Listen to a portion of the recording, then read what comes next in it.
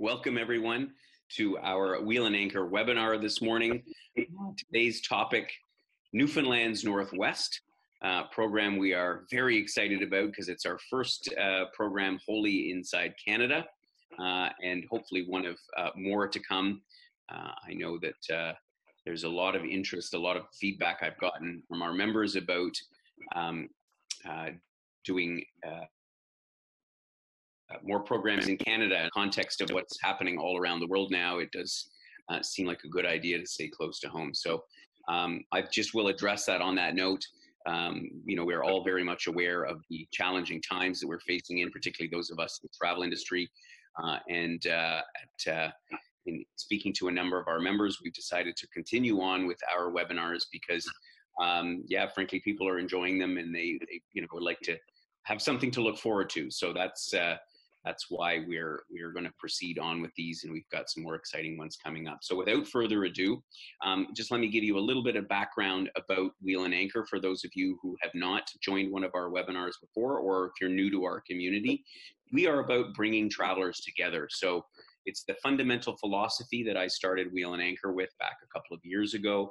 The idea being that um, we are travelers and we are travelers with a like-minded interest in going a little bit beyond what normal uh, tour groups are sort of doing. And certainly we see uh, on our trips this, some of the same kinds of things, but we try to go a little bit deeper. And more importantly, we want to share the experience with other people who have a like-minded view of travel. Um, and that's really what we're all about at Wheel and Anchor. And I have a personal goal for uh, all of our members, which is that you be well traveled and well connected. And you know, what does that mean?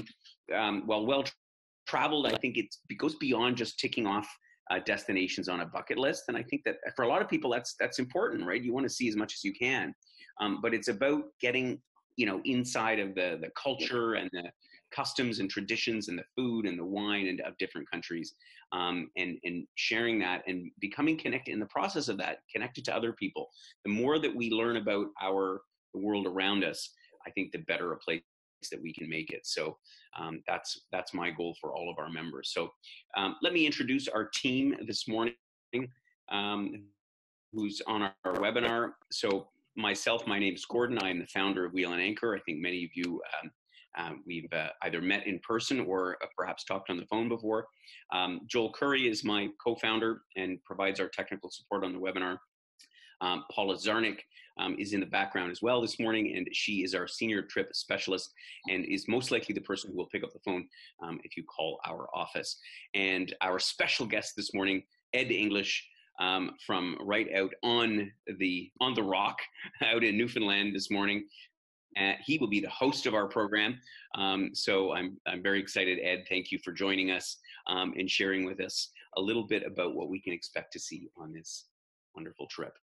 Um, so our plan for today, as per usual, um, you all that have joined us this morning are fascinated about Newfoundland and uh, particularly the Northwest Coast, which is um, very different than the other part of Newfoundland. I'll talk about that in a, a little bit in a second. And I'm here um, together with Ed to be your guide uh, and your and fellow explorer. I must say I am not uh, as familiar with this part of Newfoundland, um, but I've spent some time with Ed and his colleagues uh, to um, to um, really get to know what this part of Newfoundland is all about. So that's where we're headed in September of 2020.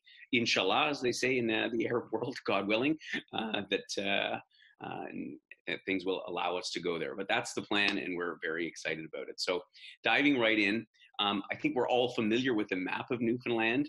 Uh, uh, you know, it's uh, it's always funny because you look at the map of Canada, and you know it's the second largest country in the world, and Newfoundland sort of sits off at the end as this little tiny island, and yet it is a huge, huge place. Um, and so that's part of the reason that we've designed this trip the way that we have, um, because we wanted to take in um, uh, a little bit of uh, this very, very special part of the province on the west coast. Uh, the majority of people people in the province of Newfoundland and Labrador um, live, or almost half of them, in the St. John's area, which is to the bottom right on this Avalon Peninsula. And then you've got this vast area um, that uh, has some some breathtaking scenery, wildlife, um, all kinds of neat stuff. and uh, you know, one of the things Ed's going to share with us a little bit about is L'Anse aux Meadows. Um, and uh, you know, the Vikings showed up there a long time before. You know, of course, our American friends always lay claim to being the ones that Christopher Columbus discovered America, but I think the Vikings got here long before he did. So anyway, um, he, we're going to hear lots about Newfoundland and some of the sites that we're going to see um, and Gros Morne National Park. And I know that, you know, anybody who's seen the commercials about Newfoundland, uh, that they do such a great job about, and you see these spectacular scenes, and that's all part of our itinerary. So let's take a look look at the map before I'm going to sort of on over to Ed, who's going to give us some of the details that we can expect to see. Our point of departure, our point of arrival, I suppose in, in Newfoundland is going to be Deer Lake, um, which is the, the airport that serves Gros Morne National Park as well as the city of Corner Brook. Uh, and from there, we're going to be heading up uh, to uh, Rocky Harbor, uh, where we're going to spend a few days in and around the area of Gros Morne, and then before zipping up to the very northern tip of Newfoundland um, at um, Quirpon, if I got the pronunciation right, Ed, and then making our way uh, back around and back down to Deer Lake. So let's take a look at the the day by day itinerary, and we're going to fly into to Deer Lake. And again, this is really the the access point for the western part of Newfoundland, uh, and we will likely, as you will see in the brochure that we'll be sending out to everybody uh, that has shown interest in the program, um, the the ideal flights are on WestJet out of Toronto for those coming from Toronto or points west uh, because um, the flight arrives in the afternoon. So that's we've we've oriented the trip around that schedule. There are other flights available, um, either through Halifax or on Air Canada, but it just arrives really late at night. So we're kind of recommending the WestJet flight, um, and all the details will be in there. And then we're going to get picked up, and you're going to meet this fabulous gentleman, Ed. Uh, you're going to meet everybody at the airport in Deer Lake, and um, where do we head for there? We head up to uh, we, we head straight up to to Gros Morne, I guess. We do, yeah. I, am going to insult the French speakers amongst us by saying Gros Morne is what it's called locally. Gros oh, okay. sorry. Yeah, see, there you go. I. if you want to sound like a local, you'll call it Gros Morne and let the French people wince when they when they hear you. okay. See, even I call it Gros Morne. Okay, so it's Gross Morne. There we go. First correction of the day. So, so it's the main airport on the west coast. People either flying to St. John's if they're doing the east coast Newfoundland or you're like with the west coast. And I, I was born just about 15, 20 minutes away from there near Corner Brook. Uh, so then just to give you a feel for how far we'll be going, from Gros Morne or from Deer Lake to the border of Gros Morne, it's only like 15 minutes. So it's not a long drive before we're in the park. And then the park itself is gorgeous. It's all a little bit of, at the beginning, twisty, windy roads around the fjords and inlets it's the, the, the, slide you have on there now is the opening to what's called Bonne Bay, the main bay in the park. And it's interesting because of all the Gulf of St. Lawrence, Bonne Bay has the deepest water.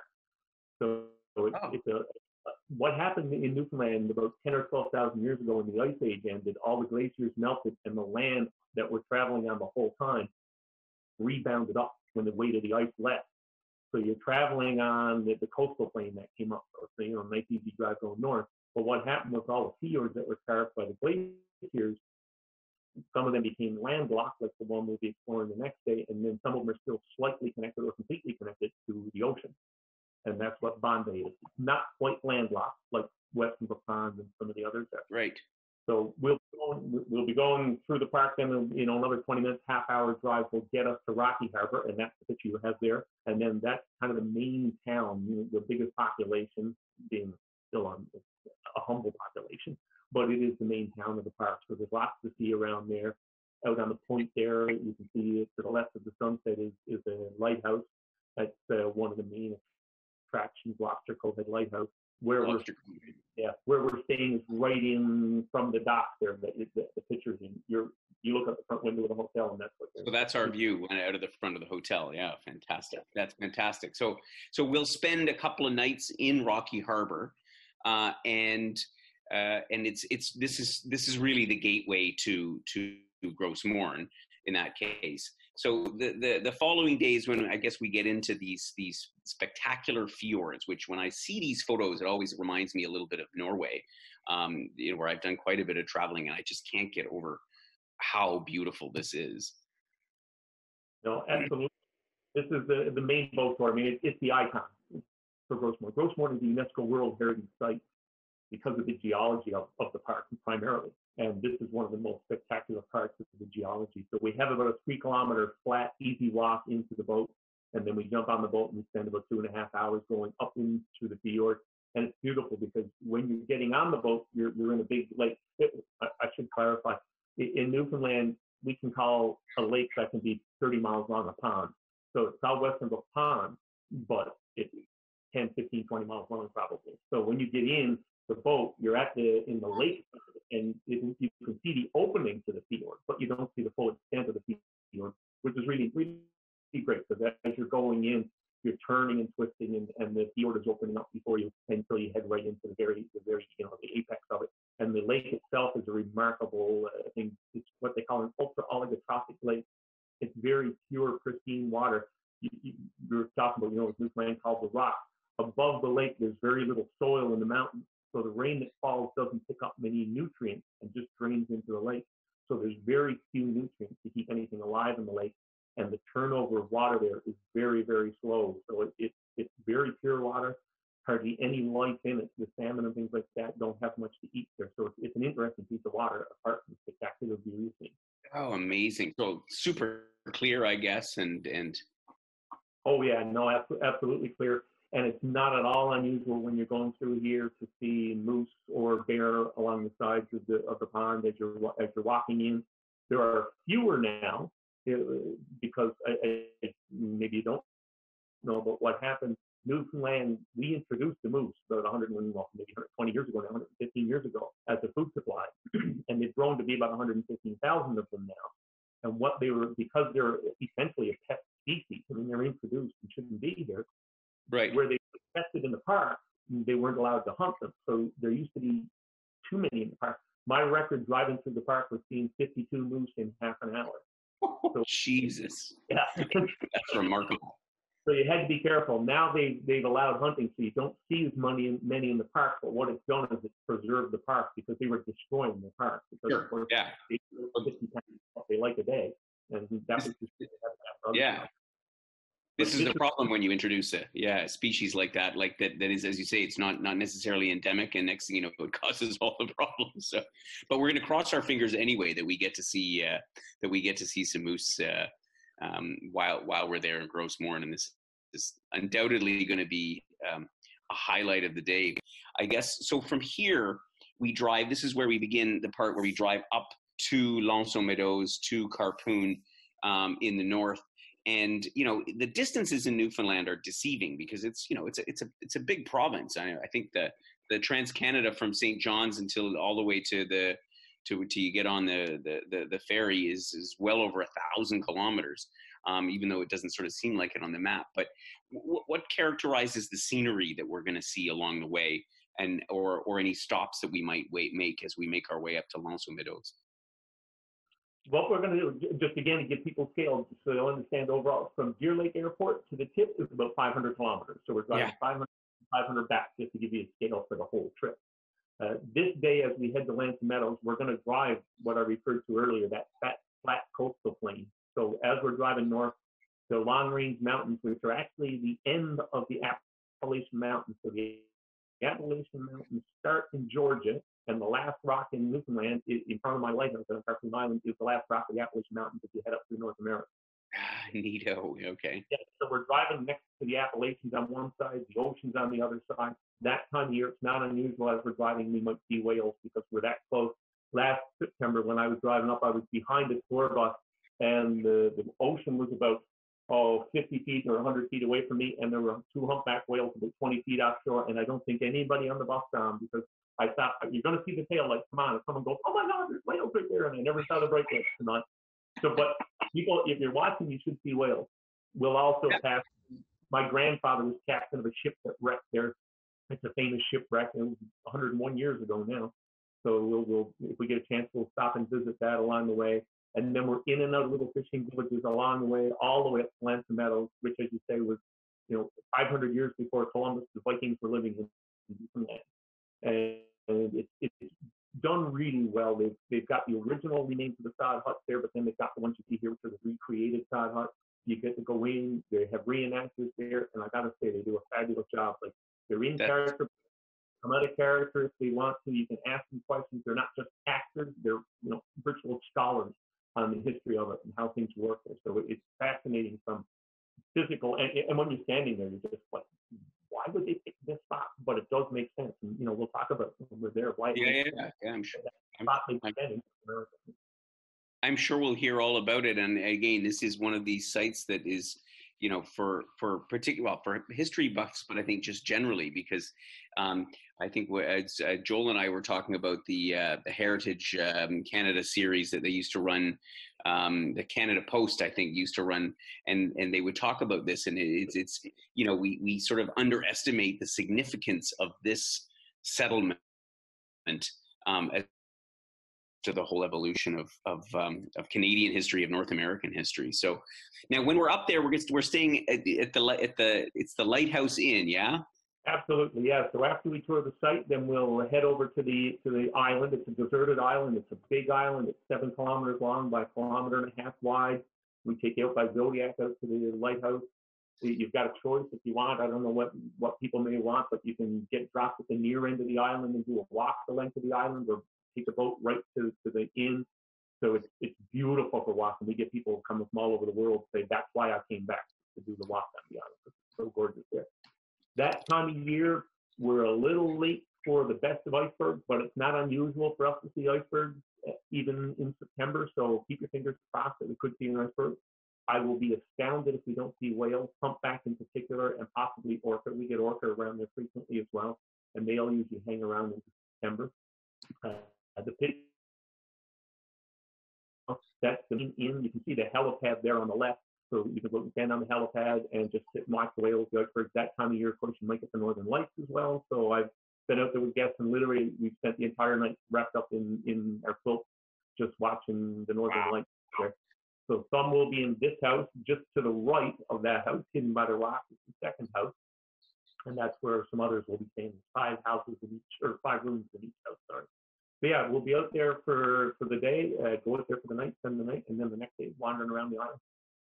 And wandering around this this Quirpon Island, and as you say, this isn't the ideal iceberg time of the year. Icebergs tend to come more in the springtime, but um, yeah, maybe there'll be one still floating around there. You never know. well, it, it, yeah, it, just just to explain, they come from the north, and we get them right. first because this what you're looking at there is the northernmost point in Newfoundland. So we do have the longest iceberg season. So most places in Newfoundland, down around St. John's, the Gate would say, you know, make in July. I I do a count every July 1st when I'm there from helipad, and normally I'll see two to three dozen by on the 1st of July, and I'll still see three or four maybe by the 1st of August. And then through August, there's usually a couple of the massive ones that have been big enough to withstand, you know, the, the heat of the summer. So it's not unusual, and we are indeed a stop because we're so far north.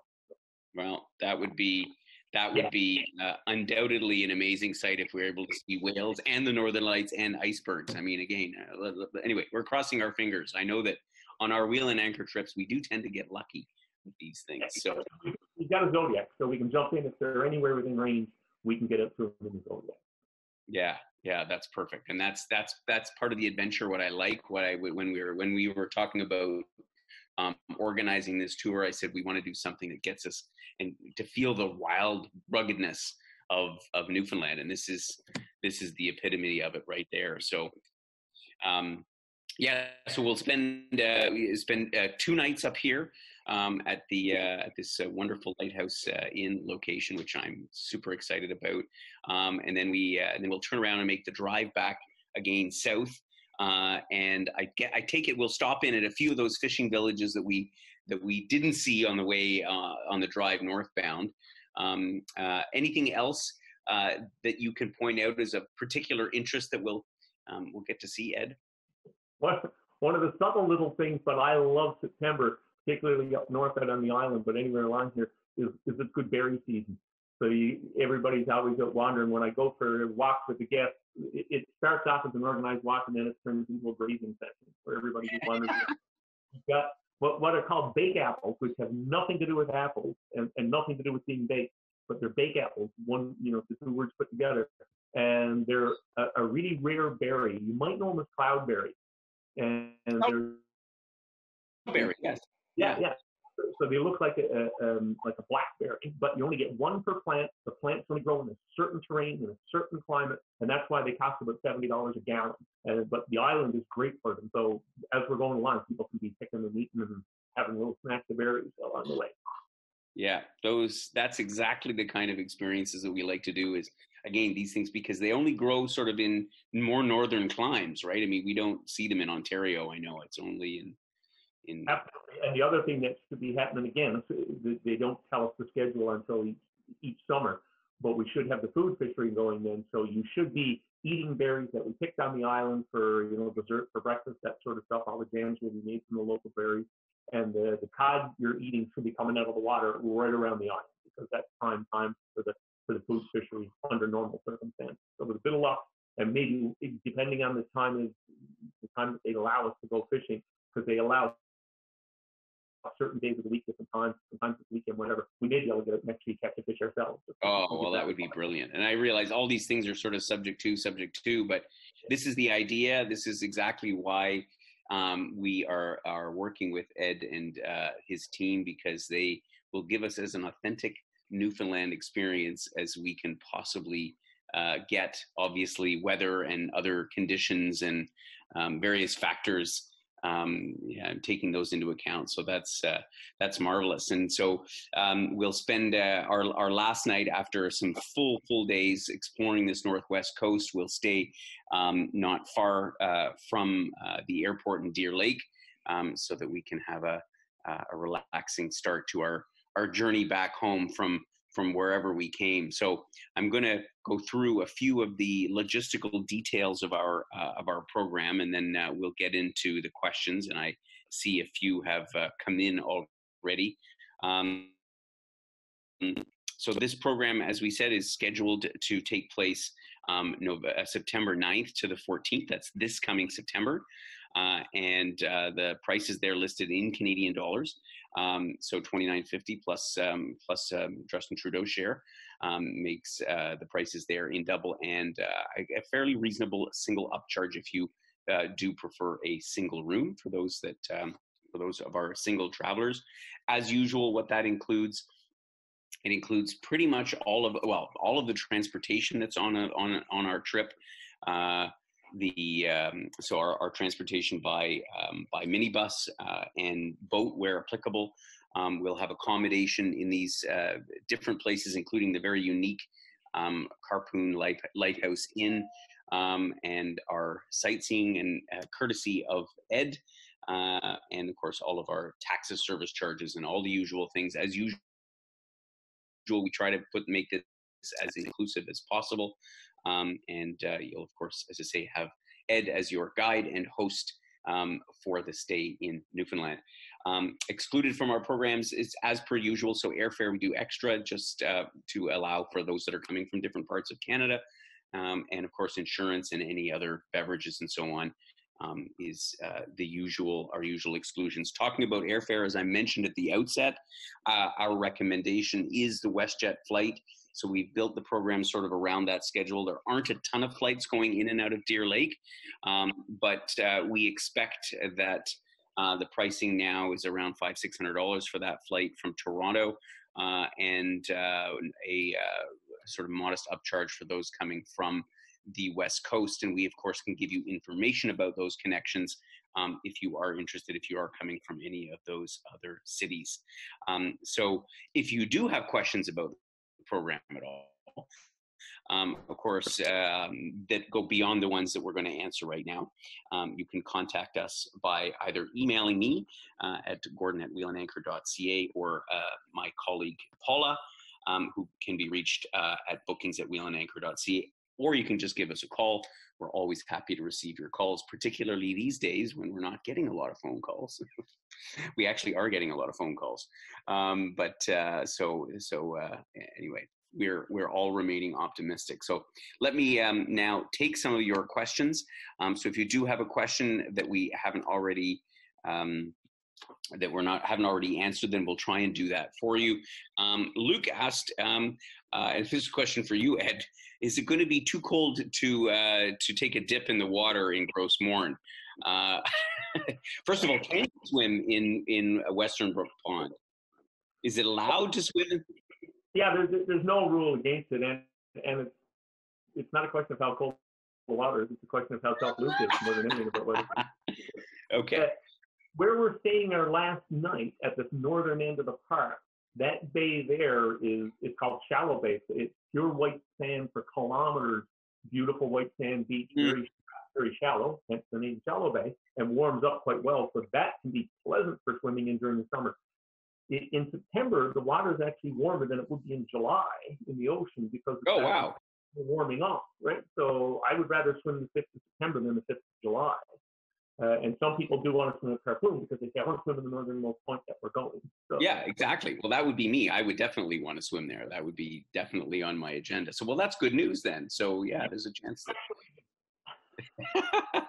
okay, perfect. Well, actually, that brings us to the next question from Judy, which is what the weather is uh, likely to be like. And I, I understand that this time of the year, that time of the year is early September is actually one of the best times because you, you don't get tons of rain, although you never know, I guess, out there. But um, what, what, what, what, what should we be yeah, expecting? No, early September can be very great weather. It's, what happens is we close down the, the inn out on the island usually around the third week of September because once you get into kind of the fall storm season, you know, they start in Florida and they work their way up the eastern seaboard and Newfoundland is where they go to die. So they, when they hit that cold Labrador current, that tends to take the power away from them.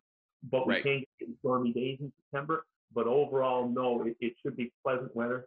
In terms of rain, it can happen. I, I did an analysis of the last 30 years of weather, and I mm-hmm. compared mm-hmm. Deer Lake Airport to Toronto Airport, just just for comparison. And I think it was Deer Lake from May to September was three degrees cooler than Toronto, not as windy as Toronto, and had 18% more rain from May to September. So, you know, which is which is really negligible in the sense that, you know, for being a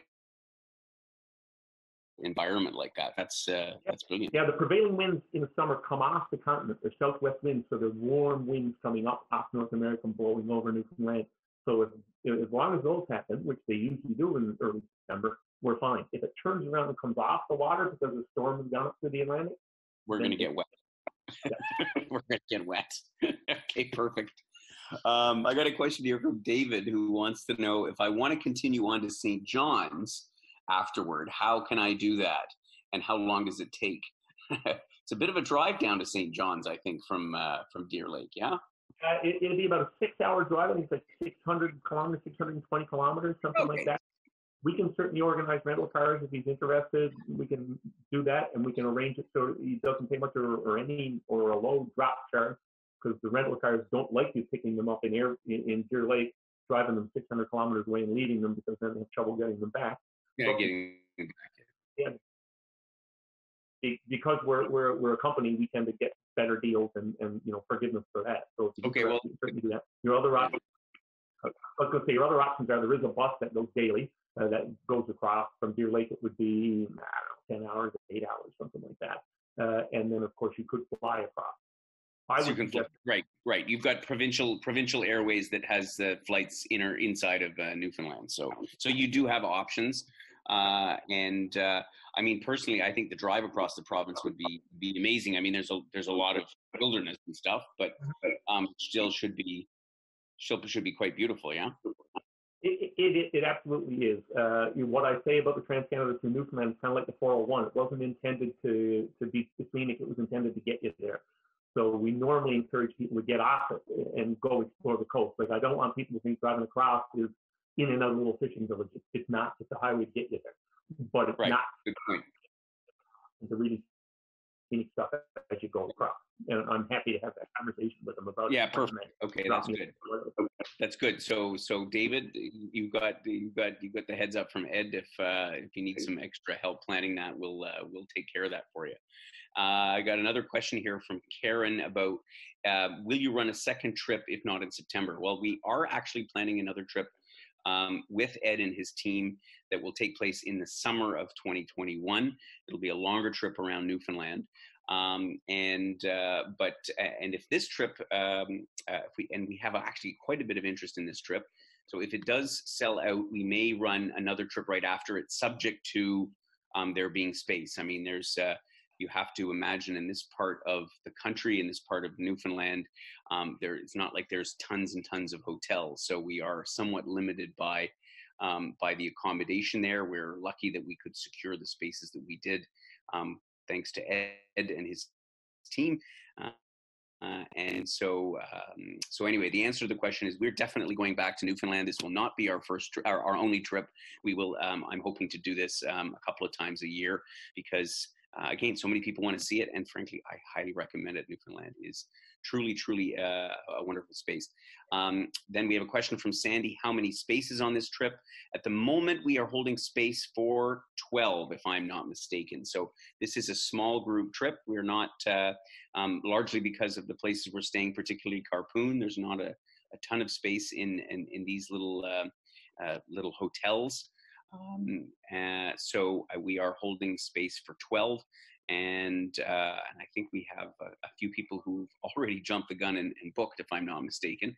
Uh, so um, it's a good idea if you are interested uh, to give us a call, probably sooner than later. Um, and as I say, we will um, take a deposit from everybody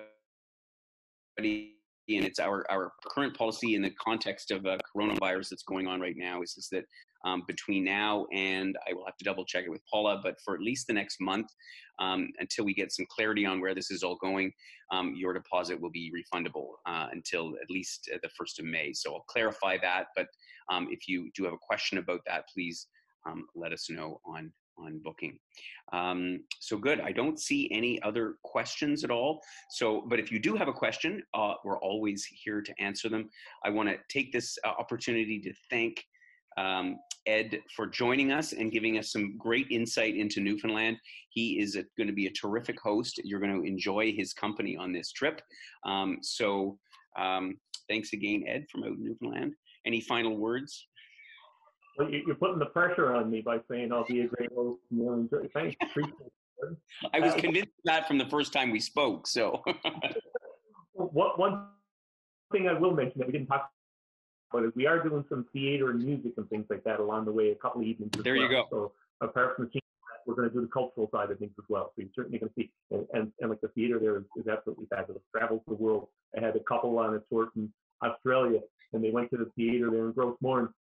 And, and I met them when they came out, and they were laughing. I said, "Was the show good?" And they said, "You must have been good. You were laughing." They said, "That's not why we're laughing." They said, "The first actor walked out and said, I feel like we know him. like somebody from home looked and then the second person came out and they went, no, we know them too. And it turned out the place in Gros had been in the, um, oh my God, uh, down in Australia somewhere doing their, their play. And they had actually seen one of their plays down there.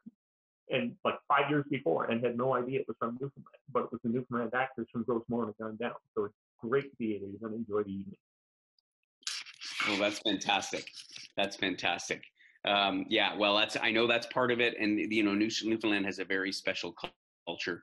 So, uh, uh, so uh, we we look forward to seeing that part as well. So, um, thanks again, Ed, Ed, for your insights uh, on this on this magnificent trip. Uh, and thanks all for joining us uh, this morning. And again, we look forward to hearing your questions and hoping that you'll join us. And thank you again for taking the time. And we'll see you all very soon.